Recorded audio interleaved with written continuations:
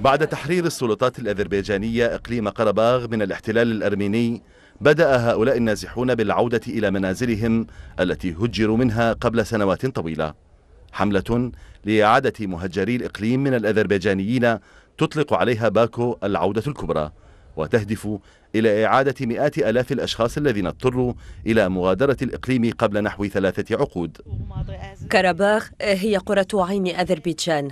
مجرد وضع أقدام على هذه الأرض يمثل فخرا لكل أذربيجاني. نحن سعداء جدا. ندعو بالرحمة لكل شهدائنا.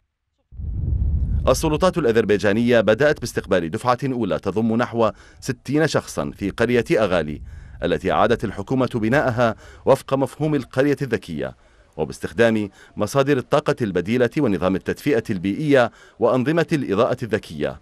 تمكنت الحكومة من بناء 200 منزل ومدرسة بقدرة استيعابية تصل إلى 360 طالبا وروضة أطفال تتسع لستين طفلا ومركز صحي ومتاجر.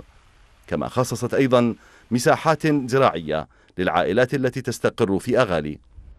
ومن المتوقع أن تعود 31 عائلة أخرى إلى أغالي خلال الأسبوع الجاري ليرتفع بذلك عدد الأسر العائدة إلى 41 في المرحلة الأولى.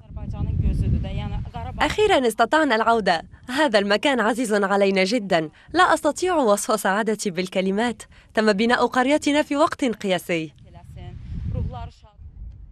وتعهدت باكو بإنفاق مليارات الدولارات من العائدات النفطية على مشاريع إعادة إعمار في قرباغ ومناطق مجاورة أخرى استعادت السيطرة عليها.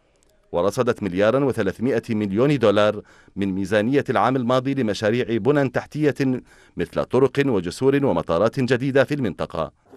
لكن عودة الأهالي على نطاق واسع لا تزال بعيدة المنال نظرا لحجم الدمار وخطر الألغام التي خلفتها سنوات الاحتلال الأرميني للإقليم.